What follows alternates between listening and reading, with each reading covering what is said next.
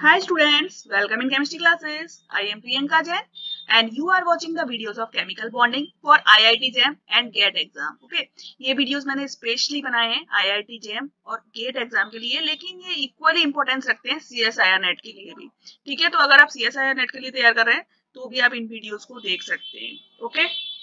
तो देखिए, पिछले लेक्चर में हम लोगों ने देखा था कि किस तरीके से shape hybridisation geometry find out करते हैं, ठीक है? मैंने क्विक ट्रिक्स बताए थे आप लोगों को। ओके अभी इस वीडियो में हम लोग देखते हैं जो सेकंड इंपॉर्टेंट थिंग पूछी जाती है that is bond angle comparison ठीक है?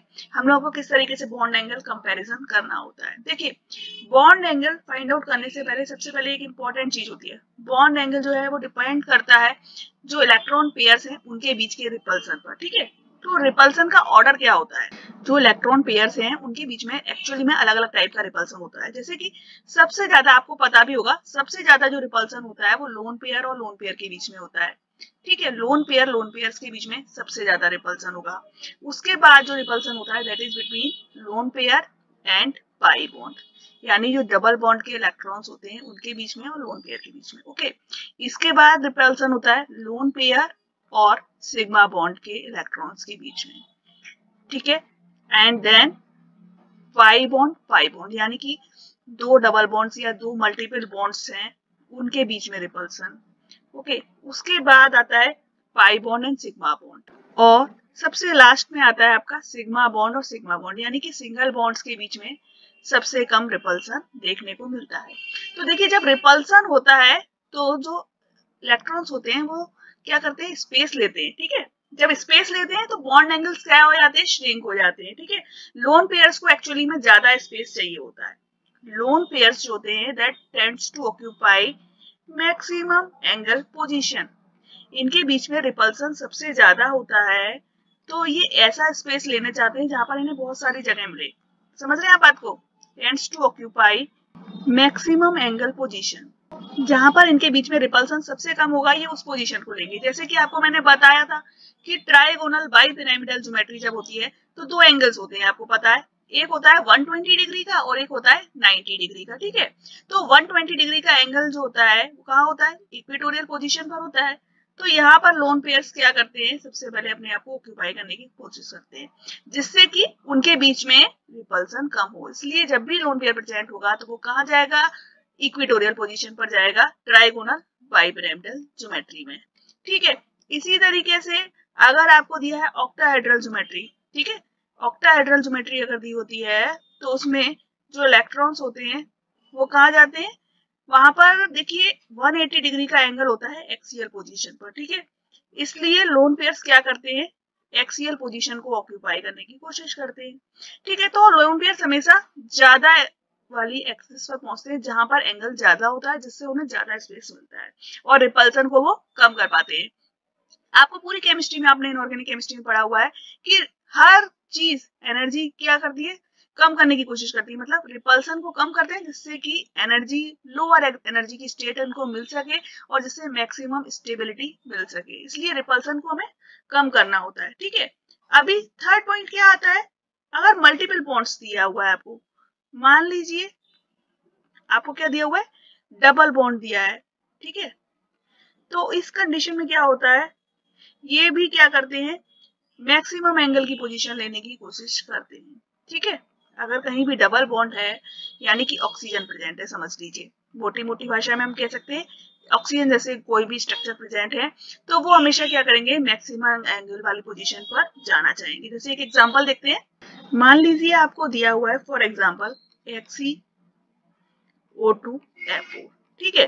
अब इसका देखिए स्टेरिक नंबर होता है, बहुत डिटेल में नहीं जा रहे हैं। स्टेरिक नंबर इसका यहाँ पर होता है सिक्स ठीक है? इसलिए इसमें होती है ऑक्टाहेड्रल ज्योमेट्री ऑक्टाहेड्रल ज्योमेट्री होगी, ठीक है? तो आपने क्या करा? बीच में बनाया जीनोन और इसके चारों ओर इस तरीके से ज्योमेट्री क्रिएट कर ली। ठीक है? ओके तो अब यहाँ पर ऑक्सीजन कहाँ जाएगी? और फ्लोरीन कहाँ जाएँगे? देखिए ऑक्सीजन जो है यहाँ पर डबल बॉन्ड से एसोसिएटेड है और फ्लोरीन सिंगल बॉन्ड से एसोसिएटेड है, यानी पाई बॉन्ड वाला स्ट्रक्चर है ऑक्सीजन तो इसलिए ये हमेशा कहा जाएगा? एक्सियल पोजीशन पर जाएगा, जिससे इनके बीच में जो एंगल बनता है वो 180 डिग्री का बनता है, ठीक है? और फ्लोरीन्स हाईली इलेक्ट्रोनेगेटिव होने के बावजूद कहाँ पर आ जाते हैं? इक्वेटोरियल पोजीशन पर आ जाते हैं। तो इस तरीके का स्ट्रक्चर यहाँ पर देखने को मिलता है। ठीक है तो ये तो थे कुछ पॉइंट्स अब इसके बाद हम देखते हैं कि बॉन्ड एंगल को जब आपको दिए हुए हैं तीन या चार कंपाउंड्स और उनके बॉन्ड एंगल को कंपैरिजन करना है तो हम किस टाइप से स्टार्ट करेंगे, ठीक है? How to compare the bond angles okay हमें बॉन्ड एंगल्स को किस टाइप से कंपेयर करना है? तो इसके लिए देखिए, कुछ रूल्स होते हैं जो आप सब आई थिंक आई होप आप सबको पता होंगे, पर यहाँ पर थोड़ा सा एक लिटिल बिट उनका देख लेते हैं और उसके बाद हम एग्जाम्पल्स करना स्टार्ट करते हैं। तो सबसे पहले हमें क्या करना पड़ता है? हाइब्रिडाइजेशन देखना पड़ता है, ठीक है? सबसे पहले आपको रूल बाय रूल ही चलना होता है, नहीं तो आप गलत कर देंगे, ठीक है? इसलिए रूल बेसिकली आपको याद होने चाहिए। तो सबसे पहली कंडीशन क्या होती है? हम हाइब्रिडाइजेशन देखते हैं। और ये कंडीशन कब होती है? जबकि कोई लोन पेयर प्रेजेंट नहीं है, ठीक है? तो सबसे पहले क्या होता है? एसपी हाइब्रिडाइजेशन का सबसे ज़्यादा एंगल होता है। आपको पता है, फिर sp2 का होता है और फिर होता है sp3 का। ये आप जानते हो। इसका 180 डिग्री एंगल होता है, इसका 120 डिग्री होता है और इसका होता है 109.4 ओके तो ये होते हैं इनके एंगल्स ओके अब इनके एग्जैक्ट एंगल यही होंगे। अगर आपके पास लोन पेयर नहीं है तो ये ही एंगल होने वाले हैं, ठीक है? लेकिन इसके अलावा एक और कंडीशन भी होती है, ठीक है? देखिए, एक रूल होता है यहाँ पर ड्रैगो रूल ठीक है? वो आई थिंक आपने पढ़ा होगा। तो नहीं पढ़ा है तो मैं एक मोटा मोटा आपको बता देती हूँ। ड्रैगो रूल्स क्या कहते हैं कि अगर सेंट्रल मेटल एटम के पास एक कंडीशन होती है, मैं यहाँ पर आपको कुछ बता देती हूँ। अगर सेंट्रल जो एटम है, ठीक है, उसके पास एक लोन पेयर एटलीस्ट एक लोन पेयर प्रेजेंट है, ठीक है। और वो कहा से बिलोंग कर रहा है? वो ग्रुप थर्टीन फोर्टीन फिफ्टीन या सिक्सटीन से है। ठीक है? और थर्ड से लेकर सेवेंथ पीरियड के बीच में है। ठीक है? सेवेंथ पीरियड तक के बीच में है। ओके यानी कि हम क्या कह सकते हैं? अगर फॉस्फोरस टाइप के कंपाउंड्स हैं फॉस्फोरस या उससे आगे जो कंपाउंड्स आते हैं, और forward come okay forward elements phosphorus या इससे फॉरवर्ड जितने भी एलिमेंट्स जो आ रहे हैं, जिनकी की इलेक्ट्रोनिगेटिविटी लेस देन 2.5 है। ठीक है? यानी कि इलेक्ट्रोनिगेटिविटी भी जिनकी ज़्यादा नहीं है। और इनमें number of sigma bond plus lone pair किसके इक्वल है? फोर के इक्वल है। अगर ये सारी कंडीशंस आपको दी हुई हैं तो ऐसे कंपाउंड्स क्या कहलाते हैं? द्रव्य कंपाउंड्स कहलाते हैं। और इनके केस में हाइब्रिडाइजेशन की नीड नहीं होती है। नो नीड ऑफ़ हाइब्रिडाइजेशन ठीक है? इनके केस में हम हाइब्रिडाइजेशन नहीं देखते हैं और एक्चुअली में जो इनमें लोन पेयर्स प्रेजेंट होते हैं ना, वो अनहाइब्रिडाइज्ड ऑर्बिटल में होते हैं। ठीक है तो इस केस में जो बॉन्ड एंगल आता है, वो अप्रोक्सीमेटली इक्वल होता है 90 डिग्री के। ठीक है तो अगर आपको इस टाइप से कुछ दिया और एक ड्रैगो कंपाउंड भी दिया हुआ है तो याद रखिए ड्रैगो कंपाउंड का जो बॉन्ड एंगल है, वो सबसे कम होगा, यानी इक्वल होगा लगभग 90 डिग्री के। ठीक है? तो इतनी बात आपको याद रखनी है यहाँ पर। और ड्रैगो कंपाउंड कौन से होते हैं मैंने आपको बता दिया है यहाँ पर। फॉस्फोरस, और sulphur A S S B ये सभी ड्रैगो ड्रैगो एलिमेंट्स के प्लेस में आते हैं, ठीक है? चलिए तो पहली कंडीशन हो गई हाइब्रिडाइजेशन की, ठीक है? तो sp हाइब्रिडाइजेशन होगा तो सबसे ज़्यादा बॉन्ड होगा, फिर sp2 होगा, फिर sp3 होगा, और फिर ड्रैग होगा, ठीक है? जैसे कि एक एग्जांपल देख लीजिए, मैं यहाँ पर दिखा देती हूँ आपको। एक दिया है आपको H2S ठीक है? एक दिया है NH3 एक दिया है आपको BF3 एक दिया है आपको SiH4 ओके अब इनका बॉन्ड एंगल आपको कंपैरिजन करना है, ठीक है? तो आप किस तरीके से करेंगे? देखिए, यहाँ पर NH3 जो है, इसका हाइब्रिडाइजेशन क्या है? Sp3 है, ठीक है? इसका हाइब्रिडाइजेशन क्या है? Sp2 है, ठीक है? और ये एस आई एच फोर इसका हाइब्रिडाइजेशन है एस थ्री आप निकाल सकते हो, ठीक है? अब बचता है एच टू एस तो मैंने आपको बताया था कि सल्फ़र के जो कंपाउंड्स होते हैं, इनके केस में आप हाइब्रिडाइजेशन नहीं देखोगे, ठीक है? ये हो गया ड्रैगो कंपाउंड ठीक है? तो इसका बॉन्ड एंगल इक्वल होगा 90 डिग्री के तो सबसे कम तो होगा इसका H2S को आप रख दो यहाँ, सबसे कम इसका होगा, ठीक है? अब ये देखो, आपको दिया हुआ है sp2 हाइब्रिडाइजेशन का, क्या होगा? सबसे ज़्यादा होगा, फिर sp3 का आएगा, ठीक है ना? तो आप क्या करोगे? Sp2 वाले को यहाँ रख दोगे bf3 ठीक है? अभी इसके बाद की कंडीशन मैंने आपको बताई नहीं थी। थोड़ा एग्जांपल मैंने पहले ले लिया है। NH3 और SiH4 इन दोनों में sp3 हाइब्रिडाइजेशन है, ठीक है? तो आपको एक बात याद रखनी है, जब भी लोन आपने देखा एक सा हाइब्रिडाइजेशन है तो उसके बाद आप देखते हो लोन पेयर्स ठीक है? मैं अभी बताने वाली थी तो मैं थोड़ा पहले बता देती हूँ। ठीक है हाइब्रिडाइजेशन के बाद हम देखते हैं नंबर ऑफ़ लोन पेयर तो इसके केस में एक लोन पेयर प्रेजेंट है और इसमें कोई भी लोन पेयर नहीं है। ठीक है तो लोन पेयर जब भी होता है तो बॉन्ड एंगल कम हो जाता है। इसलिए बी एफ़ थ्री के बाद जो बॉन्ड एंगल आएगा वो आएगा एस आई एच फोर का और उसके बाद आएगा एन एच थ्री का और उसके बाद आएगा एच टू एस का। ठीक है तो इस तरीके से ये क्वेश्चन करना था। ठीक है, अब देखिए, इसके बाद जो सेकंड पॉइंट आता है, एक बार आपने हाइब्रिडाइजेशन देख लिया। ठीक है अब उसके बाद आप क्या देखोगे? इफ़ हाइब्रिडाइजेशन इज़ सेम अगर आपको दिख रहा है कि हाइब्रिडाइजेशन तो सेम है तो आप कहा जाएँगे? Then look at lone pair of electrons lone pair of electrons को हमें देखना पड़ेगा, ठीक है? जितना ज़्यादा लोन पेयर का नंबर होगा बॉन्ड एंगल उतना ही कम होगा okay bond angle is inversely proportional to number of lone pairs ऐसा होता है। और ऐसा क्यों होता है? ये मैं अभी आपको बताती हूँ। ठीक है? जैसे कि आप देखो सी एच फोर का केस देखो एन एच थ्री का केस देखो और एच टू ओ का केस देखो। तीनों में sp3 हाइब्रिडाइजेशन है, ठीक है? लेकिन CH4 के केस में कोई भी लोन पेयर प्रेजेंट नहीं है ज़ीरो लोन पेयर NH3 के केस में एक लोन पेयर है, ठीक है? और H2O के केस में टू लोन पेयर प्रेजेंट है। ठीक है? तो बॉन्ड एंगल लोन पेयर के साथ कम होता जाएगा, यानी सबसे ज़्यादा बॉन्ड एंगल होगा सी एच फोर का, फिर NH3 का और फिर H2O का और एक्चुअली में ऐसा होता भी है, देखिए, इसका बॉन्ड एंगल होता है one zero nine point four okay इसका होता है आपका 107 डिग्री ओके और इसका होता है 104.5 ठीक है? इतना एंगल होता है। तो एंगल कम होता जा रहा है। ऐसा क्यों हो रहा है, देखिए? इसके पीछे की कॉन्सेप्ट भी हमें पता होनी चाहिए। तो एक्चुअली में हो क्या रहा है यहाँ पर? देखिए ये है C H four tetrahedral geometry है यहाँ पर और शेप भी टेट्राहेड्रल है। एन एस थ्री के पास आइए, यहाँ भी टेट्राहेड्रल की ज्योमेट्री है, लेकिन यहाँ पर शेप क्या है? पिरामिडल है, इस तरीके से। और H2O के पास आइए, यहाँ पर भी आपकी ज्योमेट्री तो टेट्राहेड्रल की है, लेकिन उसकी दो पोजीशंस लोन पेयर ने ऑक्यूपाई कर रखी हैं। ठीक है? अब जब लोन पेयर्स प्रेजेंट होते हैं तो एक्चुअली में क्या होता है? मैंने आपको बताया था lone pairs tends to occupy maximum angle space इनको सबसे ज़्यादा स्पेस चाहिए होता है, ठीक है? ये रिपल्सन क्रिएट करते हैं। तो ये इस तरफ़ भी रिपल्सन क्रिएट करेंगे, ठीक है? ये इस तरफ़ भी रिपल्सन क्रिएट करेंगे, ठीक है? ये ज़्यादा स्पेस लेना चाहेगा ओके तो क्या करेगा? ये इन बॉन्ड्स को इस तरफ़ धकेलेगा, ठीक है? धकेलेगा तो ये जो बॉन्ड एंगल है ये वाला और ये वाला बॉन्ड एंगल कम हो जाएगा, ठीक है? इस केस में दो बॉन्ड एंगल्स है तो ये और ज़्यादा मैक्सिमम स्पेस इस तरीके से लेंगे और ये इसे इस तरीके से पुल करेंगे। तो ये जो बॉन्ड एंगल है, ये क्या होगा? कम हो जाएगा ओके तो इस तरीके से जब भी लोन पेयर्स प्रेजेंट होते हैं तो बॉन्ड एंगल्स क्या हो जाते हैं? श्रिंक हो जाते हैं। इसलिए बॉन्ड एंगल कम हो जाता है, ठीक है? अभी थर्ड पॉइंट पर आते हैं। थर्ड पॉइंट क्या कहता है? कि if hybridisation and number of lone pair of electrons are same अगर ये दोनों सेम है तो हम क्या करेंगे? ठीक है?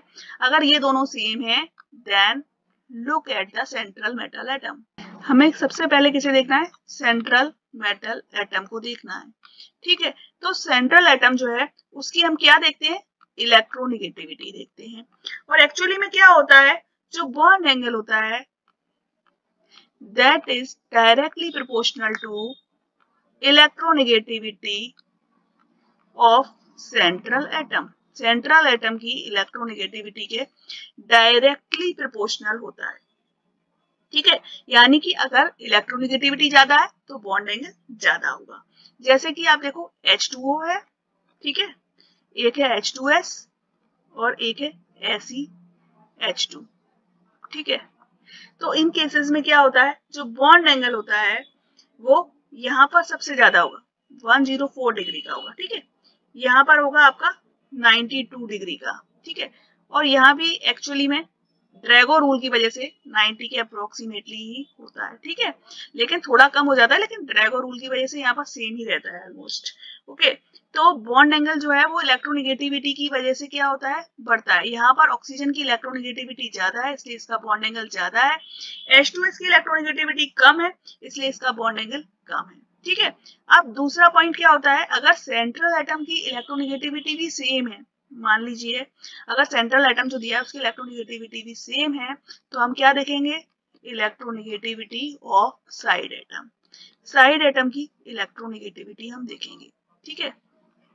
तो बॉन्ड एंगल जो होता है that is inversely proportional to electronegativity of side atom side atom की इलेक्ट्रोनिगेटिविटी के इनवर्सली प्रोपोर्शनल होता है। देखिए यहाँ पर मैंने आपसे कहा था इलेक्ट्रोनिगेटिविटी ऑफ़ सेंट्रल एटम के डायरेक्टली प्रोपोर्शनल है तो ऐसा क्यों होता है? ठीक है, एक पॉइंट यहाँ पर मैं भूल गई थी आपको बताना। तो एक्चुअली में होता क्या है? ये देखिए, मान लीजिए ये सेंट्रल एटम है, ठीक है? इससे ये दो ग्रुप्स आपके जुड़े हुए हैं। ओके अब यहाँ पर अगर इसकी इलेक्ट्रोनिगेटिविटी ज़्यादा है, ठीक है? इसकी इलेक्ट्रोनिगेटिविटी हाई है, ठीक है? मान लीजिए ये फ्लोरीन है, या ऑक्सीजन है, ठीक है? तो क्या होगा? ये इलेक्ट्रॉन डेंसिटी को अपनी ओर खींचेगा। ठीक है? ये अपनी तरफ़ इलेक्ट्रॉन डेंसिटी को इस तरीके से खींचेगा। तो जो इलेक्ट्रॉन डेंसिटी है, वो सारी यहाँ पर एकोमुलेट हो जाएगी, ठीक है? जब इलेक्ट्रॉन डेंसिटी सारी यहाँ एकोमुलेट होगी तो क्या होगा इलेक्ट्रॉन्स के बीच में यहाँ पर? रिपल्सन होगा ओके तो ये जो बॉन्ड एंगल है, ये इसको क्या करेंगे? इस तरीके से फैलाएँगे ओके अब बात समझ रहे हो, जब चीज़ यहाँ पर इकट्ठी हो जाएगी, सारे इलेक्ट्रॉन्स निगेटिव चार्ज यहाँ पर है तो उसको स्पेस चाहिए होगा, उनके बीच में रिपल्सन होगा, जिससे ये क्या होगा, ये बॉन्ड एंगल जो है, वो कैसा होगा, बढ़ेगा ओके तो बॉन्ड एंगल ज़्यादा हो जाएगा इसलिए। अब दूसरी चीज़ हमने क्या बताई थी? Electronegativity of side atom side atom की इलेक्ट्रोनिगेटिविटी के इनवर्सली प्रोपोर्शनल है। तो ऐसा क्यों हुआ? देखिए, यहाँ पर इस तरीके से ही हमारे साइड एटम्स जुड़े हुए थे। अगर इनकी इलेक्ट्रोनिगेटिविटी ज़्यादा है, ठीक है, इनकी इलेक्ट्रोनिगेटिविटी हाई है तो क्या होगा? यहाँ पर इलेक्ट्रॉन्स क्या करेंगे? इकट्ठे होंगे, ठीक है ना? ओके यहाँ पर इलेक्ट्रॉन्स इकट्ठे होंगे तो ये जो बॉन्ड एंगल है, ये श्रिंक हो जाएगा। यहाँ पर इलेक्ट्रॉन डेंसिटी कम होगी, यहाँ पर इलेक्ट्रॉन डेंसिटी ज़्यादा होगी तो ये बॉन्ड एंगल क्या हो जाएगा? कम हो जाएगा, ठीक है? तो इसलिए जब भी साइड एटम की इलेक्ट्रोनिगेटिविटी ज़्यादा होती है तो बॉन्ड एंगल कैसा हो जाता है? कम हो जाता है। जैसे कि एक एग्जांपल आप देख सकते हो Cl2O ठीक है? और दिया है आपको OF2 इन दोनों के केस में अगर आप देखते हो, यहाँ पर क्लोरीन है, ये लेस इलेक्ट्रोनिगेटिविटी है, और ये जो फ्लोरीन है, ये ज़्यादा इलेक्ट्रोनिगेटिव है। ओके? तो इलेक्ट्रोनिगेटिविटी इसकी ज़्यादा है तो इसका बॉन्ड एंगल कम होगा और इसका बॉन्ड एंगल ज़्यादा होगा। ठीक है? अब इसी टाइप के कुछ और एग्जाम्पल्स हम यहाँ पर देख लेते हैं। एक मान लीजिए, मैं एग्ज़ाम्पल ले रही हूँ यहाँ पर। NH4 प्लस दिया है आपको और PH4 प्लस दिया है। ठीक है? इन दोनों के केस में आप आ जाते हैं। सबसे पहले मैं ईजी वन ले रही हूँ। NH4 प्लस और PH4 प्लस ठीक है? बोथ केसेस आप देखोगे। आप क्या कहोगे? यहाँ पर भी sp3 हाइब्रिडाइजेशन है, यहाँ पर भी sp3 हाइब्रिडाइजेशन है। ठीक है? दोनों में सेम केस है। ओके लेकिन एक्चुअली में होता क्या है? यहाँ पर इलेक्ट्रोनिगेटिविटी कम है, यहाँ पर इलेक्ट्रोनिगेटिविटी ज़्यादा है, ठीक है? लेकिन ये जो कंपाउंड है ना, इसमें क्या लगता है? ड्रैगो रूल लगता है। तो एक्चुअली में इसके केस में हम हाइब्रिडाइजेशन नहीं देखते, ठीक है? इसके केस में हम हाइब्रिडाइजेशन नहीं देखते। इसमें जो इलेक्ट्रॉन्स होंगे, वो कहाँ होंगे? अनहाइब्रिडाइज्ड ऑर्बिटल में होंगे। तो इसका बॉन्ड एंगल एक्चुअली में 90 डिग्री के ऑलमोस्ट इक्वल होता है। और इसका बॉन्ड एंगल क्या होगा? Sp3 हाइब्रिडाइजेशन के अकॉर्डिंग होगा, ठीक है? तो यहाँ पर कोई lone pair of electron present नहीं है sp3 हाइब्रिडाइजेशन है तो इसका बॉन्ड एंगल 109 डिग्री के आसपास होगा, ठीक है? तो इसलिए इसका बॉन्ड एंगल ज़्यादा होगा और इसका बॉन्ड एंगल कम होगा। अब कुछ और एग्जांपल्स देखते हैं। सेकंड एग्जांपल देखिए, अगर आपको दिया हुआ है PH3 ASH3 और एस बी एच थ्री ठीक है? ये तीनों दिए हुए हैं। PH3 ASH3 और SBH3 इनके केसेस में आपको बॉन्ड एंगल कंपैरिजन करना है, ठीक है? तो इनका बॉन्ड एंगल जो होता है वो इलेक्ट्रोनिगेटिविटी ऑफ़ सेंट्रल एटम पर डिपेंड करेगा। जिसकी सेंट्रल एटम की इलेक्ट्रोनिगेटिविटी ज़्यादा होगी बॉन्ड एंगल उसका ज़्यादा होगा। तो हमें पता है पीएच थ्री की बॉन्ड एंगल ज़्यादा होगा क्योंकि फॉस्फोरस की इलेक्ट्रोनिगेटिविटी यहाँ ज़्यादा है एस की उससे कम है और एस की उससे कम है। तो बॉन्ड एंगल इस तरीके से जाएगा। ठीक है? एक और एग्ज़ाम्पल देखिए। अगर आपको दिया हुआ है N C S three whole thrice और N C F three whole thrice ठीक है? ये दोनों दिए हुए हैं। ठीक है? एनसीएस होल थ्राइस और एनसीएफ थ्री होल थ्राइस अब यहाँ पर देखिए सेंट्रल एटम सेम है। ठीक है? यहाँ पर हाइब्रिडाइजेशन आपने सबसे पहले देखा, दोनों में सेम है। ठीक है? लोन पेयर ऑफ़ इलेक्ट्रॉन्स दोनों में सेम है। और सेंट्रल एटम भी नाइट्रोजन है दोनों के केस में। तो हमको क्या देखना है? साइड एटम देखना है। हमें पता है बॉन्ड एंगल जो होता है that is inversely proportional to the electronegativity of side atom ठीक है? तो क्या होगा इसके केस में? इसके केस में देखिए, इसकी electronegativity N C S three whole thrice यहाँ पर ये देख लीजिए आप। सी एस थ्री ग्रुप्स जुड़े हुए हैं इस तरीके से। यहाँ पर एक लोन पेयर होगा। और यहाँ पर N C F three C F three C F three इस तरीके से जुड़े हैं और यहाँ पर भी एक लोन पेयर होगा। ठीक है? तो यहाँ पर हाइड्रोजन है, यहाँ पर फ्लोरीन है। इसकी इलेक्ट्रोनेगेटिविटी ज़्यादा है, ठीक है? इलेक्ट्रोनेगेटिविटी इसकी हाई है। लेकिन अब साइज़ देखें हम तो साइज़ भी इसका हाई है, ठीक है? हमें साइज़ भी देखना होता है। साइड एटम्स के केस में क्या होता है एक्चुअली में? साइज़ भी मैटर करता है। देखिए, अगर आप एक एग्जांपल देखें H2O ठीक है? और एक देखें आप C H three whole twice O इन दोनों केसेस को देखेंगे तो मैं आपको बता दी यहाँ पर दो हाइड्रोजन अटैच्ड है ऑक्सीजन से और यहाँ ऑक्सीजन से। सी एस थ्री अटैच्ड है और सी एस थ्री अटैच्ड है। तो जब बल्कि ग्रुप्स प्रेजेंट होते हैं तो इनको स्पेस चाहिए होता है। इस ग्रुप को स्पेस चाहिए। तो ये क्या करेंगे? एक दूसरे से दूर जाएँगे, ठीक है? तो जब भी बड़े साइड एटम्स प्रेजेंट होते हैं तो बॉन्ड एंगल एक्चुअली में बढ़ भी जाता है, ठीक है? ये एक इंपॉर्टेंट पॉइंट है, याद रखिएगा, जब साइड एटम्स का साइज़ ज़्यादा होता है, ठीक है? हमें क्या देखना है? साइड एटम्स का साइज़ भी देखना है। अगर साइज़ ज़्यादा होगा तो बॉन्ड एंगल ज़्यादा हो जाएगा। तो ये एक अगला पॉइंट है, इसको भी आप याद रखिएगा, ठीक है?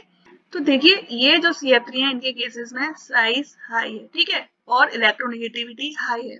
तो इलेक्ट्रोनिगेटिविटी जब साइड एटम्स की हाई होती है तो बॉन्ड एंगल कम होना चाहिए था, ठीक है? तो इस हिसाब से क्या होना चाहिए था? जो ये कंपाउंड है, इसका बॉन्ड एंगल कम होना चाहिए था, ठीक है? लेकिन साइज़ हाई है तो उसके अकॉर्डिंग बॉन्ड एंगल इस कंपाउंड का कैसा होना चाहिए? ज़्यादा होना चाहिए। तो अब दो अपोजिट कंडीशन है। तो इनमें से कौन सी लगेगी यहाँ पर? कौन सा रूल अप्लाई होगा? तो एक्चुअली में यहाँ पर साइज़ ज़्यादा मैटर कर रहा है। ये देखिए इस तरीके से नाइट्रोजन से यहाँ पर सी ग्रुप्स कुछ इस तरीके से जुड़े हैं। ये देखिए तो इन फ्लोरिन्स को यहाँ पर अटैच होने के लिए ज़्यादा से ज़्यादा स्पेस चाहिए, ठीक है? इस तरीके से इनको स्पेस ज़्यादा लग रहा है। तो जब स्पेस ज़्यादा लग रहा है तो बॉन्ड एंगल ऑटोमेटिकली क्या हो जाएगा? बढ़ जाएगा, ठीक है? तो इस तरीके से यहाँ पर ये बॉन्ड एंगल आपको दिख रहा है ना, ये बॉन्ड एंगल कितना एक्सटेंड कर रहा है, ठीक है? तो इसलिए इस कंपाउंड का बॉन्ड एंगल ओबियसली ज़्यादा होगा इससे, ठीक है? तो जब भी हम बॉन्ड एंगल देख रहे हैं तो हमें सारी कंडीशंस को देख के चलना है। अगर हम इलेक्ट्रोनिगेटिविटी देख रहे हैं साइड एटम्स की तो उसके साथ में हमें इनका साइज़ भी देख के चलना है। और कौन सी कंडीशन डोमिनेट करेगी, हमें इसे समझना है, ठीक है? एक और एग्ज़ाम्पल देखते हैं। अभी ये देखिए, एक और सिंपल सा केस था। NF3 दिया है और NCl3 दिया है, ठीक है? इन दोनों कंडीशंस में क्या होगा? यहाँ पर भी देखिए, ये देखिए। ये फ्लोरिंग्स अटैच्ड है। Sp3 हाइब्रिडाइजेशन है, ठीक है? सबसे पहले आपने हाइब्रिडाइजेशन निकाल कर देखा sp3 हाइब्रिडाइजेशन है ओके उसके बाद आपने देखा लोन पेयर्स को तो यहाँ पर एक एक लोन पेयर है दोनों पे सेंट्रल एटम भी नाइट्रोजन है, फिर आप आए इलेक्ट्रोनेगेटिविटी ऑफ़ साइड एटम्स पर। तो यहाँ पर क्लोरीन लेस इलेक्ट्रोनेगेटिव है और फ्लोरीन ज़्यादा इलेक्ट्रोनेगेटिव है। तो बॉन्ड एंगल इसका कम होगा और इसका ज़्यादा होगा। और अगर आप स्टेरिक रूल देख रहे हैं, यानी साइज़ देख रहे हैं तो भी सीएल का साइज़ बड़ा है तो इसलिए इसका बॉन्ड एंगल ज़्यादा होगा। ठीक है? तो यहाँ दोनों कंडीशंस जो हैं, वो क्या कह रही है कि बॉन्ड एंगल एनसीएल का ज़्यादा होगा। ठीक है? तो जब भी इस टाइप के कंपाउंड्स दिए हैं तो आपको इलेक्ट्रोनेगेटिविटी को देख के चलना है, ठीक है? देखिए, अगर आप इलेक्ट्रोनेगेटिविटी देख रहे हैं तो आपको एक ग्रुप इलेक्ट्रोनेगेटिविटी ऑर्डर याद भी होना चाहिए। जब आप पीरियोडिक टेबल में राइट साइड की तरफ़ जाते हैं तो इलेक्ट्रोनेगेटिविटी क्या करती है? इंक्रीज करती है।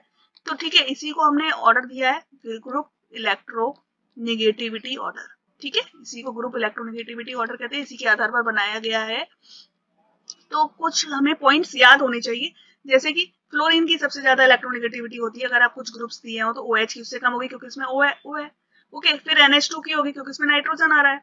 फिर CH3 की होगी, फिर RH2 की होगी देन होगी BeH की। ठीक है? ये होता है ग्रुप इलेक्ट्रोनेगेटिविटी ऑर्डर उसी तरीके से अगर आपको CF3 दिया है और CCl3 दिया है ठीक है? तो इनमें से सी एफ़ थ्री की इलेक्ट्रोनेगेटिविटी ज़्यादा होगी, ये तो आपको समझ में आ ही गया होगा। सी एच थ्री दिया है अगर आपको, और ऐसा एच थ्री दिया है। तो देखिए, आप पीरियोडिक टेबल में देख रहे हो सी के नीचे ऐसा ही आता है, ठीक है? इस तरीके से आता है। तो इधर की तरफ़ आप जब नीचे जाते हो तो इलेक्ट्रोनेगेटिविटी क्या करती है? डिक्रीज करती है। इसलिए सी एच थ्री की इलेक्ट्रोनेगेटिविटी ज़्यादा होगी। ठीक है? उसी तरीके से अगर आपको कार्बन के कुछ कंपाउंड्स दिए जैसे सी एफ़ थ्री ठीक है? फ्लोरिन और कार्बन के सी एच एफ़ टू तो सबसे ज़्यादा सी एफ़ थ्री में तीन क्लोरीन से इसकी इलेक्ट्रोनेगेटिविटी ज़्यादा होगी, फिर सी एच एफ़ टू की होगी, फिर सी एच टू एफ़ की होगी, और लास्ट में सी एच थ्री की होगी मतलब क्लोरिन का इलेक्ट्रोनेगेटिविटी कम। ठीक है? अब कुछ और बॉन्ड एंगल्स जो अलग अलग रेफरेंस बुक्स में दिए गए हैं, उनका हम ऑर्डर देखते हैं। ठीक है? ये देखिए, ये कंपाउंड आपको दिया हुआ है इस तरीके से। S double bond O S double bond O C L C L ठीक है? हो सकता है आपको जब एग्ज़ाम में दिया जाए तो उसको आपको इस तरीके से ना देकर पूरा बंद करके लिख दें SO two C L two ठीक है? तो आपको समझना पड़ेगा इसे कि इसका स्ट्रक्चर क्या होगा। सबसे पहले आपको क्या करना होगा? स्ट्रक्चर फाइंड आउट करना होगा शेप फाइंड आउट करनी होगी। उसके बाद उसका बॉन्ड एंगल देखना होगा, ठीक है? तो यहाँ पर इसका बॉन्ड एंगल और यहाँ पर इसका बॉन्ड एंगल आपको कंपेयर करना है। अब आपको इसके लिए क्या देखना पड़ेगा? दोनों कंपाउंड्स आपको दिख रहा है, दोनों की शेप सेम है। सेम ऑक्सीजन लगे हैं सेम सल्फ़र लगा है। सिर्फ़ डिफरेंस किसमें? यहाँ क्लोरीन है, यहाँ फ्लोरीन है। साइड एटम्स की इलेक्ट्रोनिगेटिविटी में यानी कि डिफरेंस आ रहा है। तो यहाँ पर क्लोरीन जो है, वो लेस इलेक्ट्रोनिगेटिव है और यहाँ पर क्लोरीन ज़्यादा इलेक्ट्रोनिगेटिव है। तो बॉन्ड एंगल क्लोरीन वाले का कम होगा क्लोरीन वाले का ज़्यादा होगा और ओबियसली ऐसा पाया गया है। यहाँ पर जो बॉन्ड एंगल है हंड्रेड डिग्री के आसपास अप्रोक्सीमेटली होता है और यहाँ पर नाइनटी सिक्स डिग्री के अप्रोक्सीमेटली होता है। ठीक है? एक और कंपाउंड है, आप देखोगे, इसी टाइप का। S double bond O S double bond O यहाँ पर लगा है C L C H three ठीक है? यहाँ पर लगा है आपका S double bond O S double bond O L और सी एफ़ थ्री ठीक है? यहाँ पर आपको दिया हुआ है S double bond O S double bond C L और यहाँ पर है आपका सी एल थ्री ठीक है? अब इनका बॉन्ड एंगल आपको कंपेयर करना है। तो देखिए, ये वाला बॉन्ड एंगल आप कंपेयर करोगे ओके यही बॉन्ड एंगल कंपेयर करोगे। तो देखिए, यहाँ पर सी एच थ्री ग्रुप लगा हुआ है। यहाँ पर सी एफ़ थ्री लगा है और यहाँ पर सी सी एल थ्री लगा है। तो ये सबसे कम इलेक्ट्रोनिगेटिव होगा। ठीक है? सबसे लेस इलेक्ट्रोनिगेटिव है यहाँ पर तो इसका बॉन्ड एंगल सबसे ज़्यादा होगा, ठीक है? इसका बॉन्ड एंगल सबसे ज़्यादा होगा। और इन दोनों में अगर आप कंपेयर कर रहे हो, ठीक है? इन दोनों में अगर आप कंपेयर करोगे तो ये देखिए यहाँ पर सीएल लगा है और यहाँ पर सी सी एल थ्री लगा है। यहाँ पर सी एल है और यहाँ पर सी एफ़ थ्री है। सी एल का इलेक्ट्रोनिगेटिविटी कम होती है तो इसका बॉन्ड एंगल ज़्यादा होगा। सी एफ़ थ्री का बॉन्ड एंगल सबसे कम होगा। यानी कि इसका तो है 101 डिग्री, ठीक है? अप्रोक्सीमेटली मैं बता रही हूँ। एग्जैक्टली नहीं है। यहाँ पर 95 डिग्री के अप्रोक्सीमेटली है और यहाँ पर 96 डिग्री, ठीक है? तो इस केस में बॉन्ड एंगल आपका थोड़ा बढ़ जाता है ओके अब एक और एग्जांपल देखते हैं हम यहाँ पर। अगर आपको दिया हुआ है, मान लीजिए बॉन्ड एंगल कंपेयर करने को P F four C L ठीक है? एस एफ़ फोर और एस एफ़ फोर ओ इनका बॉन्ड एंगल आपको कंपेयर करना है, ठीक है? इन तीनों के केस में सबसे पहले आप क्या करोगे? ज्योमेट्री फाइंड आउट करोगे। शेप फाइंड आउट करोगे। तो तीनों में क्या हो रहा है? एसपी थ्री डी हाइब्रिडाइजेशन है। ठीक है? तो यहाँ पर टीबीपी ज्योमेट्री है। ट्राइगोनल बाइपिरामिडल ज्योमेट्री आपकी। इसका आपका किस टाइप का बनेगा? पी ओके ये आपने बनाया। अब आपको सबसे पहले क्या देखना पड़ेगा? यहाँ पर क्लोरिन्स कहाँ आएँगे? क्लोरिन कहाँ आएँगे? ठीक है? तो क्लोरिन्स आपके, आपको पता है, सबसे पहले एक्सियल पोजीशन पर जाएँगे। ज़्यादा इलेक्ट्रोनेगेटिव है। बाकी के क्लोरिन्स यहाँ आ गए और क्लोरिन ये आ गया। ऐसे फोर के केस में आपको पता है सीशो शेप होती है, ठीक है? तो ये आपने बना दी। फ्लोरिन्स और ये फ्लोरिन, ठीक है? और यहाँ पर क्या है? एक लोन पेयर है। लोन पेयर को भूलना नहीं है। एस एफ़ फोर ओ अगर इस टाइप का दिया है तो यहाँ पर आपका जो लोन पेयर था, उसकी जगह पर आप ऑक्सीजन लगा दो। Fluorines okay? और ये बाकी के आपके फ्लोरिन्स ठीक है? अब आपको बॉन्ड एंगल कंपैरिजन करना है। ये वाला बॉन्ड एंगल ठीक है? ये कंपेयर करना है। तो एक्चुअली में क्या होगा? देखिए, यहाँ पर सिर्फ़ बॉन्डिंग पेयर बॉन्डिंग पेयर है। अब आप कंपेरिजन किस आधार पर करोगे? क्योंकि आपको देखना है, यहाँ पर बॉन्ड पेयर बॉन्ड पेयर से यहाँ पर बॉन्डिंग पेयर और लोन पेयर है, ठीक है? और यहाँ पर आपको क्या दिया है? बॉन्ड पेयर और पाई बॉन्ड दिया है डबल बॉन्ड दिया है। तो आपको पता है बॉन्ड पेयर बॉन्ड पेयर में सबसे कम रिपल्सन होता है तो यहाँ पर सबसे ज़्यादा बॉन्ड एंगल होगा, ठीक है? तो इसका बॉन्ड एंगल है आपका 117.8 डिग्री ठीक है? ओके अगर आप यहाँ देखोगे तो इसके बाद डबल बॉन्ड बॉन्ड पेयर और डबल पेयर डबल बॉन्ड में होता है। मैंने आपको बताया था, सबसे ज़्यादा रिपल्सन जो होता है, वो बॉन्ड पेयर और लोन पेयर में होता है, ठीक है? उसके बाद होता है बॉन्ड पेयर और पाई बॉन्ड में, और उसके बाद होता है आपका बॉन्डिंग पेयर और बॉन्डिंग पेयर में, ठीक है? तो ये कंपाउंड मान लीजिए आप ए है, ये मान लो आप बी है और ये सी है। तो सबसे ज़्यादा बॉन्ड एंगल किसका होगा? ये। जो जिसका बॉन्ड बॉन्ड ये वाला। जिसका bond bonding pair bonding pair जिसका सबसे कम रिपल्सन है, इसका बॉन्ड एंगल सबसे ज़्यादा होगा। ठीक है, फिर सी वाले का होगा और फिर होगा आपका बी वाले का। ठीक है? इतनी बात क्लियर है आपको? ये थे कुछ एग्जांपल्स इस तरीके से आपको क्वेश्चंस करने बहुत सारे एग्जांपल्स मैंने आपको करा दिए हैं। प्रीवियसली भी मैं एक और वीडियो बना चुकी हूँ बॉन्ड एंगल पर, जहाँ पर मैंने ट्रिक्स बताई हुई थी। वो वीडियो भी आप देख सकते हो। ठीक है, यहाँ पर मैंने कुछ नए आपको एग्जाम्पल्स कराने की कोशिश करी है। बहुत सारे प्रीवियस ईयर के क्वेश्चन भी इसमें देखे हैं। तो हमने नॉर्मल यहाँ पर कुछ भी नहीं देखा है, सारे नए एग्जाम्पल्स देखे हैं। ठीक है? तो आई होप आपको वीडियो पसंद आ रहा होगा। और अगर आप चाहते हो कि कुछ और मैं बताऊँ, कुछ अलग टॉपिक्स आपको चाहिए, या आपको कुछ कमी लग रही है या कुछ भी बात है, आप मुझे कमेंट करके बता सकते हैं। ठीक है, अगर वीडियोस पसंद आ रहे हैं तो उन्हें ज़्यादा से ज़्यादा लाइक शेयर और सब्सक्राइब करिए। Thank you